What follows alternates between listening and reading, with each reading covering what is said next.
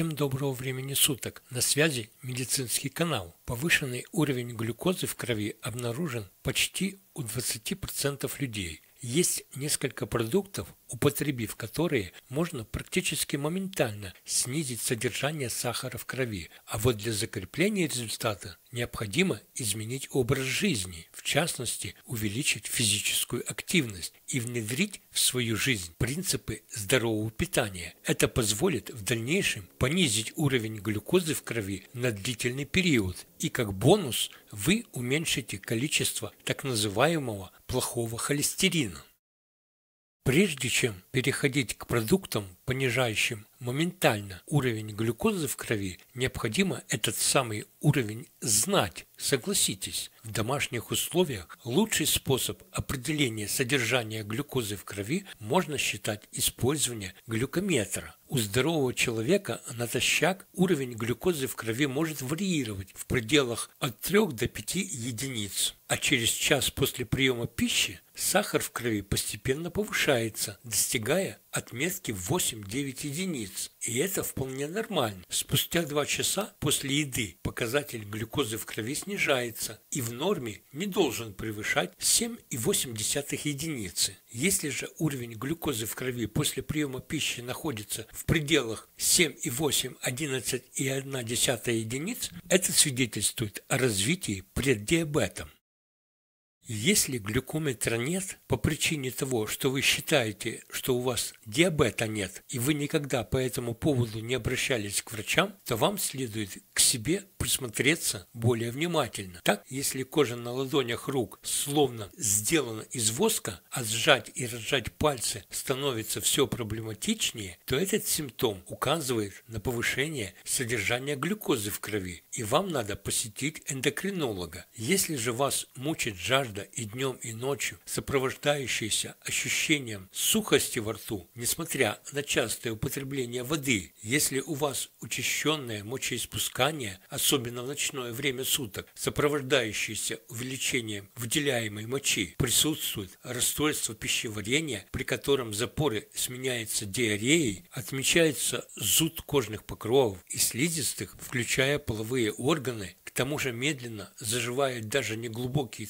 царапины, долго кровоточат из-за нарушений выработки факторов свертываемости крови. Отмечается зябкость конечностей, ухудшение зрения в виде появления мушек и пелены перед глазами. Вы подвержены резким колебаниям веса без видимых на то причин. Причем потеря веса зачастую наблюдается на фоне повышенного аппетита. При такой симптоматике вам надо не просто посетить эндокринолога, а бросить все прямо сейчас и бежать к врачу.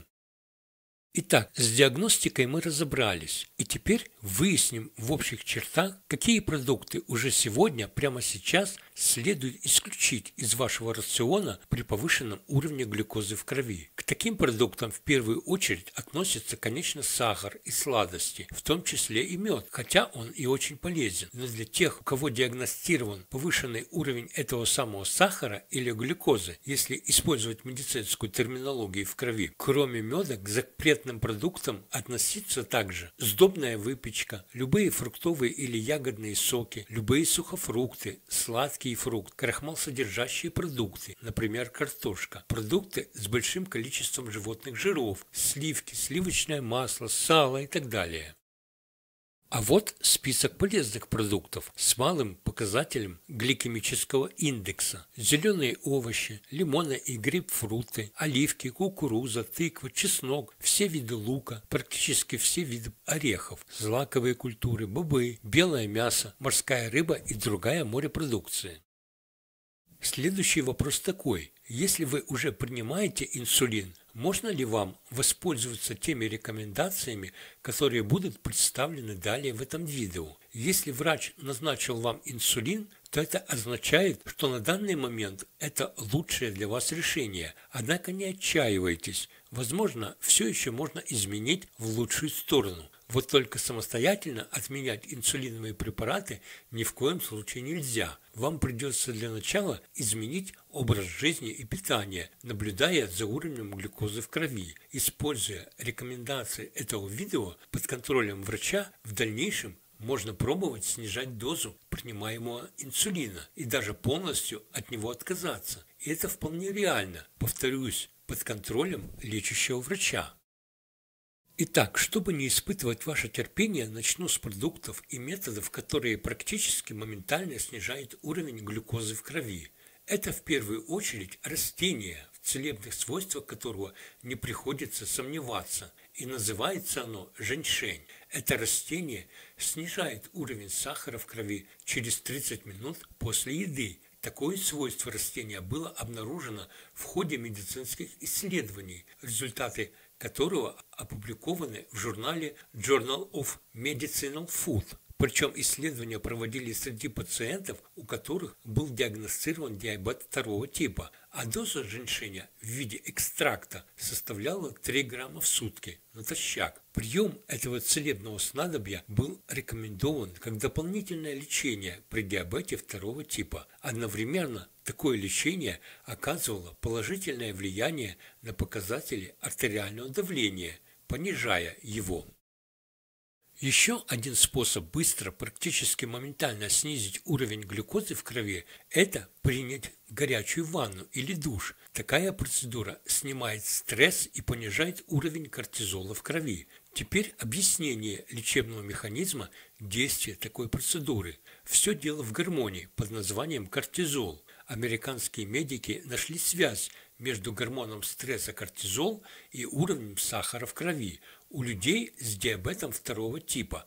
Результаты исследований опубликованы в журнале Psychoneuroendocrinology. У здоровых людей уровень кортизола колеблется естественным образом в течение дня, повышаясь утром и падая ночью, пишется в этом издании. А руководил этой работой доктор Джошуа Джозеф из Центра исследований диабета и обмена веществ при медицинском центре штата Огайо. У участников с сахарным диабетом второго типа уровни кортизола были более плоскими в течение дня на фоне высоких уровней глюкозы. Ученые также выдвигают предположение, что снижая уровень кортизола, можно использовать в качестве способа профилактики диабета моментально или очень быстро понижает уровень глюкозы в крови, также пение. Механизм действия здесь тот же – снижение уровня кортизола и, как следствие, снижение уровня глюкозы. Кстати, те, кто не умеет красиво петь, могут просто подвывать, но в этом случае надо предупредить близких, чтобы у них не развился стресс. Британский врач Майкл Мосли использует именно такой нестандартный способ снижения уровня глюкозы в крови. А вот если вы соедините эти две процедуры, я имею в виду горячую ванну и пение, то эффект будет еще заметнее. И кроме снижения уровня сахара в крови, вы еще и сможете получить дополнительный бонус в виде снижения у себя кровяного давления. Теперь перейдем к быстрым способам снижения сахара в крови. Для этого воспользуемся следующими способами. Употребление в течение дня чая из черничных листьев. Прием утром, в обед и на ночь по одной столовой ложке сухих пивных дрожжей. Пить трижды, пить три раза в сутки чай на основе березовых почек и цветков сирени. Принимать в течение дня отвар из корневища одуванчика или репейника. Съедать трижды в сутки по столовой ложке горчичного семени. Конечно, не все сразу. Выберите какой-нибудь один способ, который вам больше нравится, но лучше выбрать тот, который под контролем глюкометра снижает уровень сахара в крови. Кроме всего, настоятельно рекомендую чаще добавлять в блюдо чеснок. Это поможет поддерживать нормальный уровень сахара в течение дня. Как снизить уровень глюкозы в крови при беременности? Для того, чтобы снизить уровень сахара в крови при беременности, иногда бывает достаточно просто изменить питание, и сахар придет в норму без каких-либо негативных последствий. Есть и народные средства, однако придется согласовать их употребление с врачом. Это прием за 15 минут до еды одной столовой ложки луковичного сока или настоя, Настой делают так. Измельчает одну среднюю луковицу и эту кашицу заливает питьевой водой комнатной температуры. Настаивает 2-3 часа и принимает 3 раза в день перед едой по 1 трети стакана. По аналогии с предыдущим рецептом можно готовить и чеснок, причем использовать можно как зубки, так и чесночные перья и даже стрелки. Хороший эффект для снижения сахара дает также употребление печеных луковиц. Ежедневно утром на пустой желудок следует кушать одну среднюю запеченную луковицу. В течение месяца уровень глюкозы в крови в этом случае нормализуется. При беременности особенно важно регулярно контролировать сахар. Несколько слов о воде – Несомненно, при жажде нужно пить именно воду. Вода позволяет предотвратить обезвоживание и оказывает помощь почкам при выводе избытка сахара с мочой. Так, при недостаточном потреблении воды увеличивается риск развития гипергликемии. Поэтому 1,5-2 литра воды в день – это ваша обязательная лечебная доза. Клетчатка – продукты, снижающие сахар в крови, включают в себя растворимые и нерастворимые пищевые волокна. Они способствуют связыванию и выводу из организма избытка плохого холестерина, улучшению работы кишечника и похудению. Кроме того, благодаря им можно замедлить усвоение углеводов и сахара, оказывая таким образом положительное влияние на уровень глюкозы в крови и предупреждая развитие диабета второго типа, в особенности действенно растворимая клетчатка, присутствующая в таких продуктах, как овес, бобы, некоторые цитрусовые и яблоки. Листовая зелень она становится все более популярной. Помимо различных сортов салатов, модный тренд здорового питания – это употребление шпината и микрозелени. Кстати, о шпинате и микрозелени вы можете посмотреть видео на медицинском канале. Эти продукты содержат в себе, кроме клетчатки, большое количество антиоксидантов и магния, а они понижают сахар в крови. Доказано, что при недостаточном употреблении магния увеличивается риск развития инсулинорезистентности и диабета второго типа. О роли магния вы также можете посмотреть дополнительно видео на медицинском канале. Рыба напрямую не влияет на уровень сахара в крови, но она является прекрасным источником качественного белка, повышающего чувство сытости и позволяющего снизить потребление углеводов. Еще одной причиной, по которой продукты, снижающие сахар в крови при диабете, включают в себя еще и рыбу, является повышенное количество в ней ненасыщенных жирных кислот, способных уменьшить уровень плохого холестерина. Продуктам, снижающим уровень сахара в крови, относится, конечно, и черника. Она блокирует определенные пищеварительные ферменты и тормозит усвоение углеводов. Кроме того, употребление этих ягод позволяет предотвратить резкие скачки сахара в крови. Согласно результатам одного исследования, проводившегося в Великобритании, за счет употребления продуктов, в которых содержатся флавоноиды, а черника относится именно к таким продуктам, можно понизить риск развития инсулинорезистентности консистентности. Еще стоит отметить отсутствие избыточного количества сахара в этих ягодах.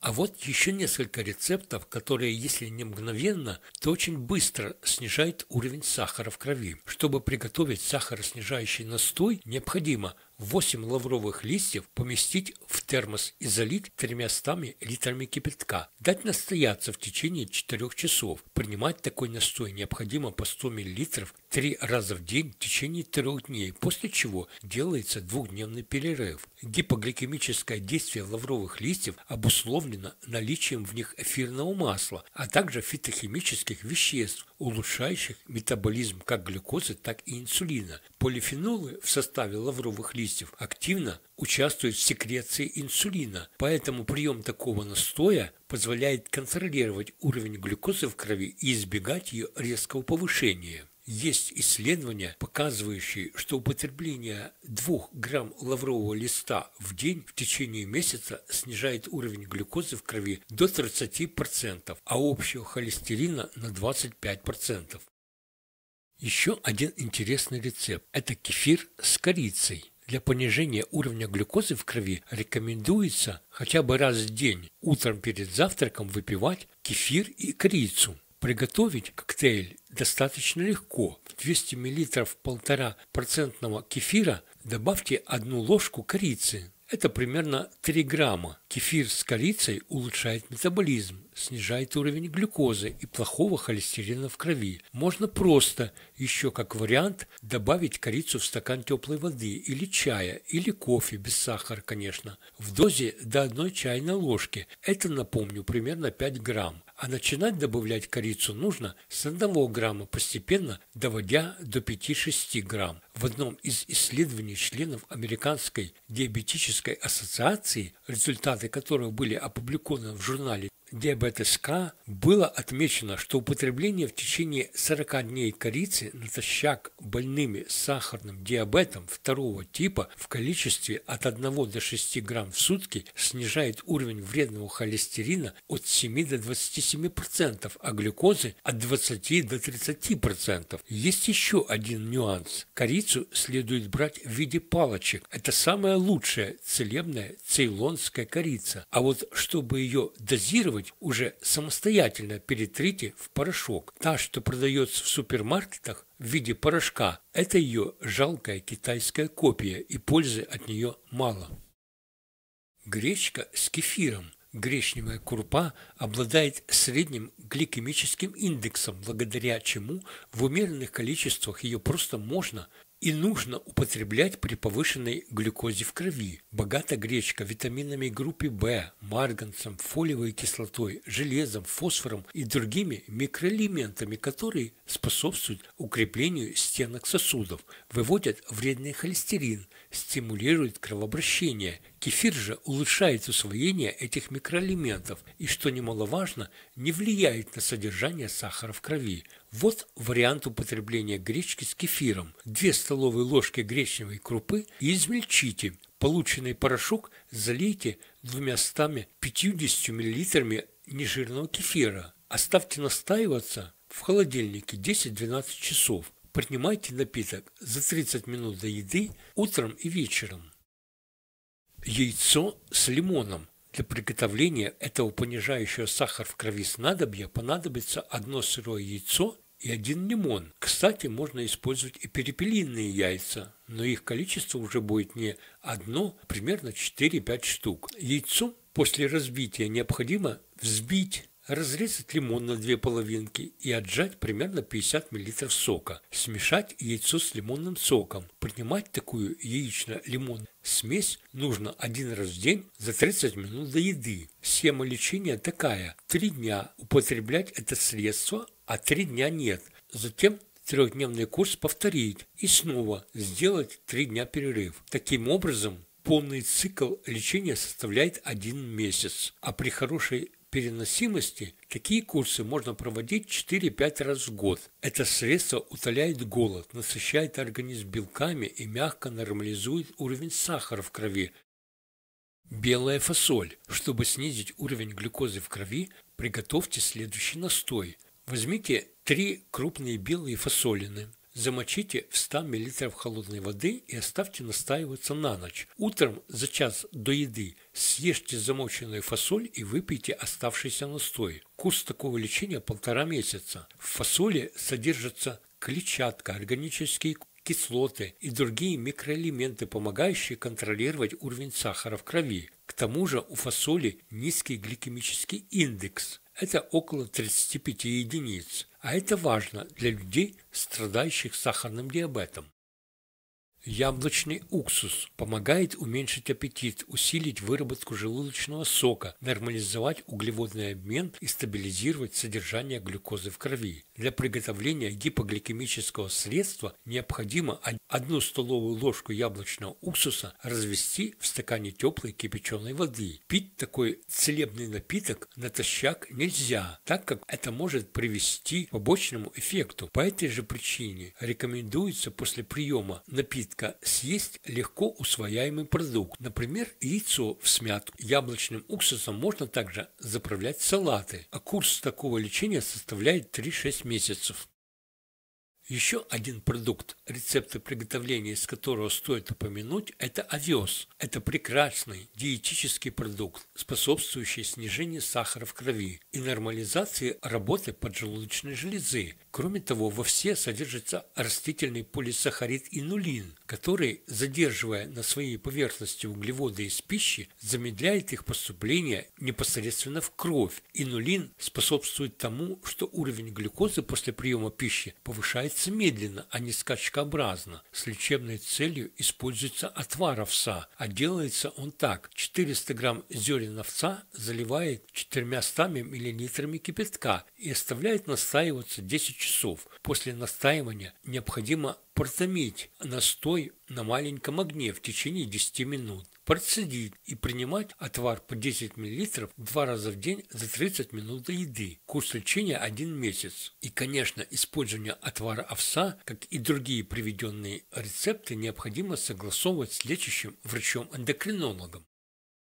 Цикорий также содержит инулин, механизм действия которого я озвучил предыдущем рецепте. Какую пользу может принести цикорий при повышенном сахаре в крови? Инулин из цикория удерживает углеводы, поступившие с пищей. Частично эти углеводы потом попадают в кровяное русло, но в большинстве своем выводятся вместе с инулином из организма. И в этом заключается польза инулина, снижающего сахаристость пищи. Полезное вещество из цикория не разрушается при нагревании напитка, однако оно может изменяться и подвергаться гидролизу. Такое свойство характерно для инулина, который содержится в уже готовых быстрорастворимых напитках. А вот самостоятельно приготовленный настой из растения, а также экстракт цикурия не теряет своих лечебных свойств и способности снижать сахар в крови.